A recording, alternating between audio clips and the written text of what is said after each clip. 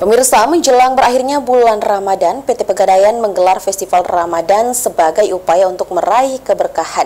Festival ini diselenggarakan dengan menggandeng 30 UMKM binaan PT Pegadaian area Gorontalo dengan tujuan memberikan wadah bagi UMKM untuk mengembangkan bisnis mereka. Festival Ramadan yang digelar PT Pegadaian dilaksanakan secara selindo di 12 titik untuk kategori kantor wilayah. Kantor wilayah 5 Manado memusatkan kegiatannya di kota Gorontalo, bertempat di lapangan Taruna Remaja. Ya.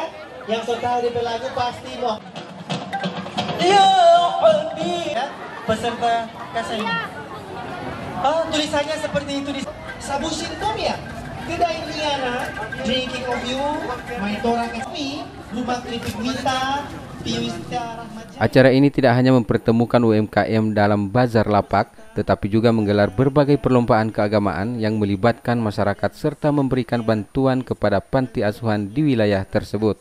Ya, tujuannya kami juga mengakomodir UMKM yang di saat ini ada 30 UMKM binaan PT Pegadaian khususnya area Gorontalo. Sehingga uh, menunjang bisnis mereka dan kami juga menunjukkan kepada masyarakat bahwa Pegadaian merakyat dan dekat dengan masyarakat sekitar.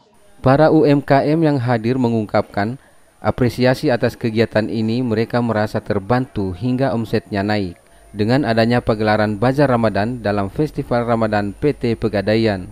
Alhamdulillah Kak sejauh ini ketika uh, bazar hari ini dibuka dari kemarin pembukaan sampai hari ini uh, kami rasa sangat membantu ya kak karena ketika kami kan pertama kan kak buka di Palma kemudian ketika kami mendapatkan informasi untuk melaksanakan bazar yang diselenggarakan oleh Pegadaian ternyata uh, sejauh ini sangat-sangat memberikan manfaat bagi kami kak.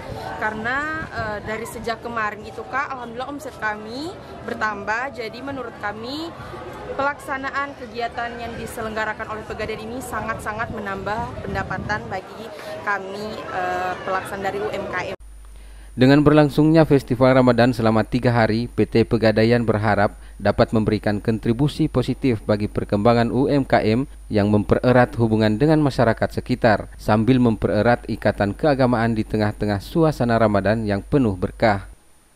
Dari Kota Gorontalo, Faradila Alim, iNews melaporkan.